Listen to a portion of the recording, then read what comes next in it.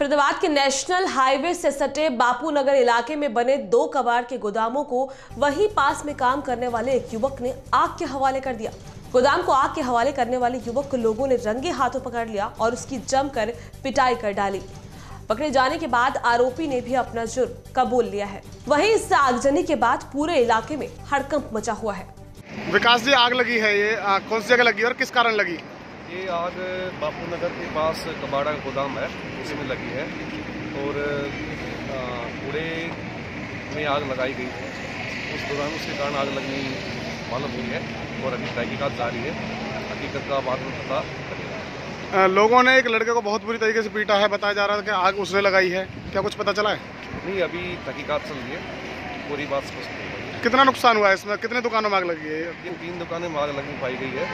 और करीब सत्तर अस्सी हज़ार का अनुमान पता है। पुलिस तरफ़ से क्या कार्रवाई की जाएगी आगे? अ, जो भी जैसी कार्रवाई बताई जाएगी इनकी तरफ़ से जो भी बात होगी उसके अनुसार कार्रवाई आग बुझ चुकी है? आग बुझ चुकी है। दमकल की गाड़ी आ चुकी है। और अभी क्यों लगाई तुमने? वो दुकान से मैं साफ़ कर रहा था फिर वहीं पे वो कूड़ा को जला रहा था। तो वहीं पानी बुझा रहा तो नहीं रहा था अच्छा तो इसी दुकान पर काम करते थे ना, ना। दुकान है दुकान है। मेरे को बराबर में तो किस चीज़ से आग लगा रहे थे इतना? किस चीज़ से आग लगा रहे थे आप? बताओ। दिल्ली से जल, जलाए हुए इसमें कबारे में। तो आपको पता नहीं बराबर में कबाड़े के गोदाम में आग नहीं लगानी चाहिए? तो थोड़ा सा मैं बोला कि इतना थोड़ी पकड़ लेगा। अब इतनी मात्रा में आग लगी है यहाँ उतने नुकसान है। उसकी ज़िम्मेदारी कैसे? तो पकड़ेगी तो कौन ज़िम्मेदारी लेगा इसकी जो आग लगी है? हम भरेंगे देश के।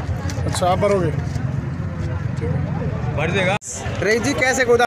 मेरा नाम जाकत है। जाकर जी कैसे लगी है गोदाम? भैया मैं तो हवाल फेरी से आया हूँ। मैंने धुआँ देखा बोला आग लग गई। अब ना कहिएगा छोड़ने लगाई वो पकड़ रखा है। किसका किसका गोदाम है ये? ये अफवाह का रईस का और आरिफ का। अच्छा। रईस का आरिफ का। भैया कई लाख का नुकसान है आग क्यों लगाई इसमें? भैया तो बस छोड़ने लगाई है जन क्यों लगाई है तो क्या फायर ब्रिगेड आई है मौके पर यहाँ पे? भैया वो पता ना इन्हें मालूम करो भाई अब तुम। जितनी मैंने देखी थी बात बता किस चीज़ का गोदाम है? किस चीज़ का गोदाम है? ये कबाड़े का भाई देख रहा है। लोया